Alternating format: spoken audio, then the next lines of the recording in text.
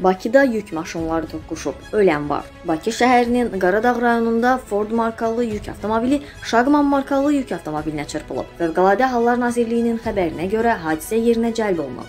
Nazirliyin xüsusi riskli xilasetmə xidmətinin müvafiq xilasetmə qüvvələri müxtəlif xəsarətlər alaraq sıxılı vəziyyətdə qalan 2 nəfəri və 1 nəfərin meyidini deformasiyaya uğrayan Ford markalı yük avtomobilindən çıxararaq aidiyyatı üzrə təhvil veriblər.